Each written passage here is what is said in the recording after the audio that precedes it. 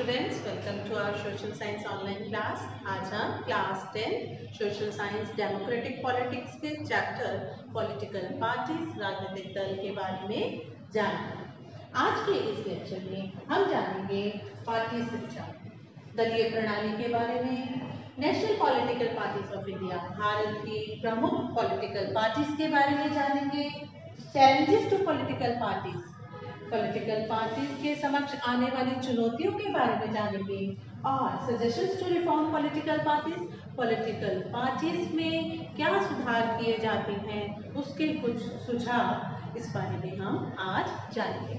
Student इससे पहले वाले लेक्चर में आप पॉलिटिकल पार्टीज़ का मीनिंग पॉलिटिकल पार्टी का अर्थ कार्य, और why do we need political parties जान चुके हैं, उनके बारे में पढ़ चुके हैं। आज का ये लेक्चर पॉलिटिकल पार्टीज़ के पार्टी सिस्टम दलीय प्रणाली के बारे में है। दलीय प्रणाली। एक दलीय प्रणाली क्या है? द्विदलीय, बहुदलीय। One party system one party system कई देशों में एक ही दल को, एक ही राजनीतिक दल को सरकार बनाने और चलाने की आज़ादी है। जैसे चाइना, कोरिया, क्यूबा। एक ही पॉलिटिकल पार्टी होती है। वन पार्टी सिस्टम में कोई प्रतिस्पर्धा नहीं होती। जैसा कि नाम से स्पष्ट है कि एक ही पॉलिटिकल पार्टी को सरकार बनाने और चलाने की आज़ादी होती है। तो वही एकमात्र पॉलिटिकल पार्टी अपना उम्मीदवार खड़ा करती है चुनाव लड़ने के लिए और कोई प्रतिस्पर्धा नहीं होती। द्विदलीय प्रणाली two party system two party system क्या होता है? कुछ देशों में सत्ता दो मुख्य राजनीतिक दलों के बीच अदल बदल होती रहती है। पॉलिटिकल पार्टीज़ जो जो दो मुख्य पॉलिटिकल पार्टीज़ होती हैं, उन्हीं में से किसी एक को या फिर दूसरे को पॉलिटिकल सत्ता, राजनीतिक सत्ता हासिल होती है। ऐसा अमेरिका और ब्रिटेन में होता है। इस द्विदलीय प्रणाली में विजेता को मैक्सिमम वोटर्स को अपनी फेवर में करना होता है। जो ज़्यादातर जो वोटर होते हैं, उनको अपने पक्ष में करना होता है चुनाव जीतने के लिए। इस तरह द्विदलीय प्रणाली में टू पार्टी सिस्टम में छोटे पार्टीज़ खड़ी तो होती हैं, प्रति, प्रतिस्पर्धा में हिस्सा तो लेती हैं, लेकिन चुनाव से पहले ही बाहर हो जाती हैं। छोटी छोटी पार्टीज़ जो हैं, राजनीतिक दलों से, इन मुख्य राजनीतिक दलों से प्रतिस्पर्धा कंपटीशन तो करती हैं, लेकिन चुनाव से बाहर निकल जाती हैं। तो टू पार्टी सिस्टम द्विदलीय प्रणाली अमेरिका और ब्रिटेन में होता है। मल्टी पार्टी सिस्टम बहुदलीय प्रणाली।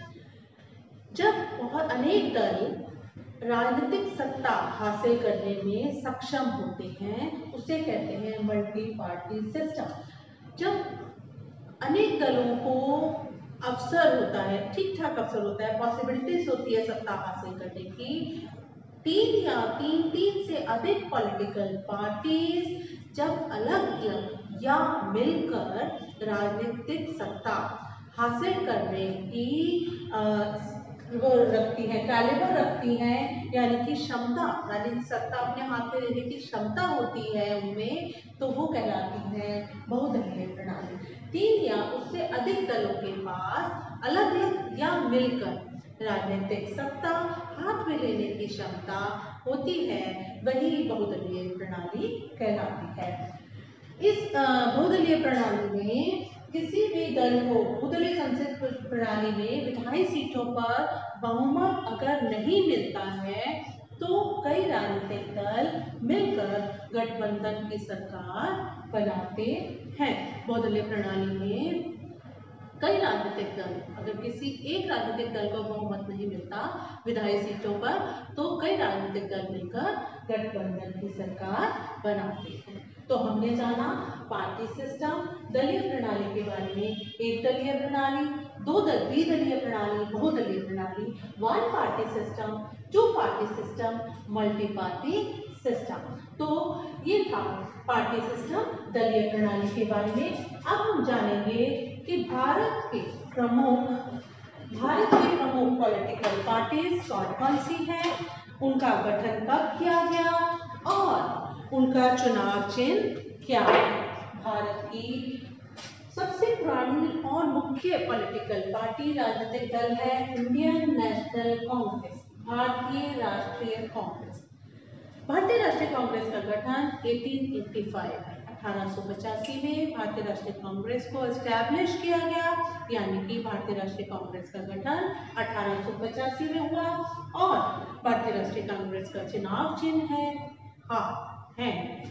भारतीय राष्ट्रीय कांग्रेस का चुनाव चिन्ह है, हाथ यानी कि है तो भारतीय राष्ट्रीय कांग्रेस, जो भारत का सबसे पुराना राजनीतिक दल है, का गठन अठारह में किया गया और उसका चुनाव चिन्ह है, हाथ। BJP, Bharatiya Janata party, Bharatiya Janata party BJP का गठन 18 1980 में किया गया 1980 में किया गया भारतीय जनता पार्टी का चुनाव चिन्ह है लोटस, कमल। तो बीजेपी भारतीय जनता पार्टी, जो कि बहुत ही प्रमुख जनता पार्टी है, इस समय हमारी सरकार भी बीजेपी की सरकार ही बनी है। बीजेपी ने भी सत्ता हासिल की हुई है। तो 1980 में बीजेपी का गठन किया गया और उसका चुनाव चिन्ह है लोटस।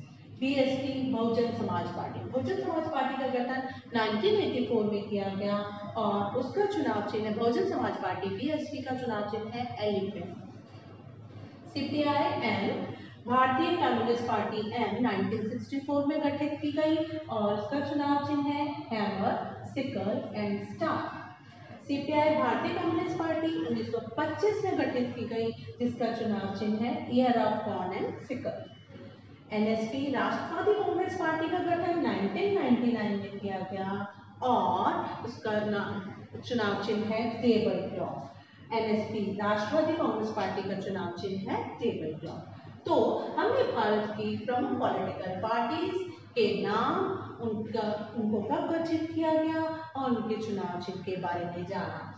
इंडियन नेशनल कांग्रेस जिसका चुनाव चिन्ह हाथ है 1885 में स्टैब्लिश की गई। बीजेपी जिसका चुनाव चिन्ह लोटस है फिर 1980 में स्टैब्लिश की गई। बीएसपी जिसका चुनाव चिन्ह एलिफेंट है 1984 में की गई। सीपीआई भारतीय कम्युनिस्ट पार्टी एम का गठन 1964 में किया गया और चुनाव चिन्ह है hammer sickle and star CPI भारतीय कम्युनिस्ट पार्टी जिसका गठन 1925 में किया गया, चुनाव चिन्ह है ear of common sickle NCP राष्ट्रीय, राष्ट्रवादी कांग्रेस पार्टी, जिसका गठन 1999 में किया गया और चुनाव चिन्ह है टेबल क्लॉक तो आपने जाना भारत की प्रमुख पॉलिटिकल पार्टीज़ के नाम, उनका गठन, उनका स्टैब्लिश कब किया गया और उनका सिंबल क्या अब हम चलते हैं राजनीतिक दलों के समक्ष बहुत से चैलेंजेस आते हैं। राजनीतिक राजनीतिक दलों को सत्ता हासिल करने के लिए बहुत से चैलेंजेस चुनौतियों का सामना करना पड़ता है। तो राजनीतिक दलों के समक्ष कौन कौन सी चुनौतियाँ आती हैं? सबसे पहला लैक ऑफ़ ट्रांसपेरेंसी पारदर्शिता का अभाव। राजनीतिक दलों में आपस में ट्रांसपेरेंसी बिल्कुल भी नहीं होती। राजनीतिक दल, क्योंकि इतनी प्रतिस्पर्धा रहती है और राजनीतिक दलों का मुख्य उद्देश्य सत्ता हासिल करना है, सरकार बनाना है, यानी कि अधिकतम वोट प्राप्त करना और सरकार बनाना। तो सत्ता हासिल करने के उद्देश्य से बहुत सी पॉलिटिकल पार्टीज़ अनैतिक कार्य भी करते हैं। तो जिससे किसी भी दल की आपस में क्लियर क्लैरिटी नहीं होती। ट्रांसपेरेंसी का मतलब है क्लैरिटी यानी कि आर पार दिखाई देना। तो पॉलिटिकल पार्टीज़ में, आपस में ट्रांसपेरेंसी बिल्कुल भी नहीं होती। डायनेस्टिक सक्सेशन वंशवाद की चुनौती। पॉलिटिकल पार्टीज़ के आगे एक बहुत बड़ी चुनौती आती है वंशवाद की चुनौती। वंशवाद यानी कि जो मुख्य नेता होते हैं या जो पार्टी सत्ता में होती है, जिसने सत्ता हासिल कर ली होती है, बहुत ही प्राचीन पार्टी होती है, बहुत ही पुरानी पार्टी होती है तो वो अपनी पावर का इस्तेमाल करके वो चाहते हैं कि उन्हीं के रिश्तेदार या उनका आगे वंश ही उनकी पार्टी को चलाए और सत्ता हासिल करें। जिससे नई पार्टियों और नए राजनीतिक दलों को अवसर ही प्राप्त नहीं होता सत्ता में आने का। अगर अवसर ही प्राप्त नहीं होता और अगर अवसर प्राप्त हो भी जाता है तो नए लोगों नई पॉलिटिकल पार्टीज़ को आ, आगे अपनी सत्ता में जमे रहने का अवसर भी नहीं मिलता या ज़्यादा समय तक वो टिक नहीं पाते। तो ये वंशवाद की चुनौती भी नए राजनीतिक दलों या उम्मीदवारों के आगे आती है। नेक्स्ट है problem of muscle and power आपराधिक तत्वों की घुसपैठ राजनीतिक पार्टीज़ में आ, ऐसा कुछ ट्रेंड ही बन गया है कि सत्ता में जिनके पास बहुत ज़्यादा मनी पावर होती है या पावर्स होती हैं, वह सत्ता हासिल कर लेते हैं इजीली सत्ता हासिल कर लेते हैं और अन्य दलों को या अन्य लोगों को सत्ता में इन्वॉल्व ही नहीं होने देते या टिके नहीं रहने देते तो इससे क्या होता है, जिनके पास पावर्स होती हैं, वो इजीली सत्ता भी हासिल कर लेते हैं अपने पावर के दम पे और उसमें टिके भी रहते हैं। तो जिनके पास मनी पावर्स या अनदर पावर्स का लैक कमी होती है, वो उनको सत्ता में टिके रहना मुश्किल हो जाता है। नेक्स्ट है लैक ऑफ़ मीनिंगफुल चॉइस विकल्पहीनता बहुत सारे ऑप्शन ही नहीं होते। पॉलिटिकल पार्टी मतलब उम्मीदवार के पास बहुत सारे ऑप्शन ही नहीं होते। कि वो आ, क्या चुने कौन सी पार्टी चुने कौन से दल में जाए किस दल में उसके उद्देश्यों की पूर्ति होगी तो lack of meaningful choice lack of internal democracy आंतरिक लोकतंत्र का अभाव. राजनीतिक दल के अंदर अंदर उस पार्टी में भी लोकतंत्र का अभाव होता है यानी कि जो विचार होते हैं या डिसीज़न होते हैं निर्णय होते हैं कुछ ही नेताओं के इर्द गिर्द घूमते रहते हैं. यानी कि जो मुख्य नेता होते हैं, जो शीर्ष नेता होते हैं, उन्हीं के उन्हीं तक ही केंद्रित होते हैं। तो अन्य पार्टी कार्यकर्ता या अन्य नेताओं को अपनी बात रखने का, अपने विचार रखने का अवसर ही प्राप्त नहीं होता। तो लैक ऑफ़ इंटरनल डेमोक्रेसी तो राजनीतिक दलों के समक्ष ये निम्न चैलेंजेस आते हैं लैक ऑफ़ ट्रांसपेरेंसी पारदर्शिता का अभाव डायनेस्टिक सक्सेशन वंशवाद की चुनौती problem of muscle and money power आपराधिक तत्वों की घुसपैठ लैक ऑफ़ मीनिंगफुल चॉइस विकल्पहीनता लैक ऑफ़ इंटरनल डेमोक्रेसी आंतरिक लोकतंत्र का अभाव। राजनीतिक दलों को या पॉलिटिकल पार्टीज़ को, नई पॉलिटिकल पार्टीज़ को, नए उम्मीदवारों को सत्ता हासिल करने और सत्ता में टिके रहने के लिए अमूमन बहुत सी चुनौतियों का सामना करना पड़ता है।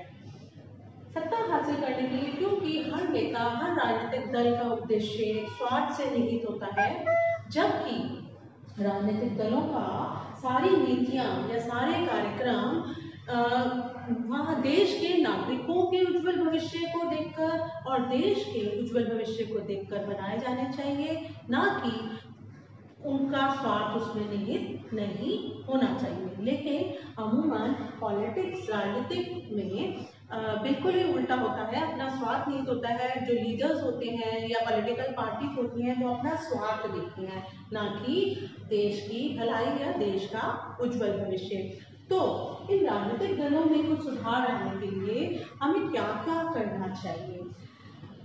सबसे पहला, संविधान में कुछ फेरबदल करने चाहिए।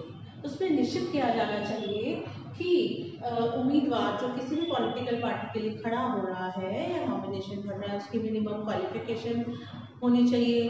उसका कुछ ऐसा आपराधिक बैकग्राउंड नहीं होना चाहिए, यानी कि वो कोई भी उसका जो बैकग्राउंड है, परिवेश, जो पिछला बैकग्राउंड है, वो आपराधिक नहीं होना चाहिए। और सरकार जो है, चुनाव प्रक्रिया पे होने वाले खर्चे पर खुद ही सरकार का कंट्रोल नियंत्रण होना चाहिए। जैसा कि आमतौर पर देखा जाता है मनी पावर्स वाले पॉलिटिकल पार्टीज़ जो है, अपनी मनी का दुरुपयोग करके अनैतिक कार्यों द्वारा भी सत्ता हासिल करने के प्रयत्न करते रहते हैं। क्यों? क्योंकि उनका मूल उद्देश्य सत्ता हासिल करना है, सरकार बनाना है। और उसमें टिके रहने के लिए भी वो अपनी मनी पावर या मस्कुलर पावर का प्रयोग करके अनंत कार्य भी करते रहते हैं। तो इस पर सुधार किया जाना चाहिए कि चुनाव प्रक्रिया पर होने वाले खर्चे पर सरकार जो है अपना नियंत्रण रखे ताकि आ, कोई भी पार्टी अनैतिकता का प्रयोग ना करे। इसके साथ साथ सरकार को यह निश्चित करना चाहिए कि जो